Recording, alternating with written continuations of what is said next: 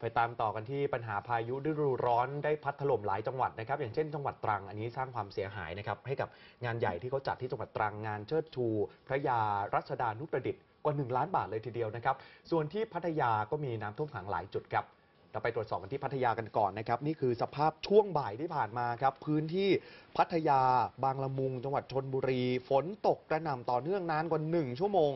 แต่หนึ่งชั่วโมงนี้น้ำท่วมขังอย่างที่คุณผู้ชมเห็นเนะฮะหลายสายเลยครับ ทั้งถนนพัทยาสาย 3 ถนนเลียบทางรถไฟ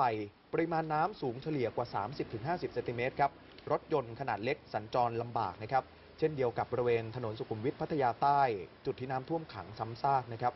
รถมอเตอร์ไซค์หลายคันเนี่ยเสียหายดับอยู่กลางน้ำเลย สามารถสัญจรได้เพียงหนึ่งช่องทางเท่านั้น ส่งผลให้รถติดยาวหลายกิโลเมตรนะครับตั้งแต่ไฟแดงพัทยาใต้ไปจนถึงทางลอดอุโมงค์พัทยากลาง ล่าสุดหลังจากฝนหยุดประมาณ 1 ชั่วโมง ระดับน้ำลดลงเข้าสู่ภาวะปกติแล้วครับ ส่วนนี้ที่จังหวัดตรังนะครับ เจ้าของเต็นท์แล้วก็ผู้รับเหมา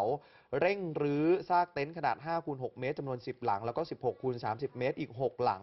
บริเวณลานเรือพระ สนามกีฬาทุ่งแจ้ง เขตเทศบาลนครตรังครับที่ถูกพายุฤดูร้อนพัดถล่มตั้งแต่ช่วงค่ำของเมื่อวานนี้จนเสียหายครับก็เร่งซ่อมแซมให้เสร็จทันก่อนที่จะถึงวันงานเชิดชู พระยารัชดานุประดิษฐ์ บิดายางพาราไทย ซึ่งจะจัดวันที่ 7-13 เมษายนนี้ โดยจะจัดหาเต็นท์ใหม่ มากางแทนให้เร็วที่สุด เบื้องต้น ประเมินมูลค่าความเสียหายไม่ต่ำกว่า 1 ล้านบาท เพราะว่าเต็นท์เนี่ยมีถึง 16 หลังที่เสียหาย จนไม่สามารถซ่อมแซมได้อย่างที่คุณผู้ชมเห็นอยู่นี้ฮะ หนักเลยทีเดียวนะครัคะ บ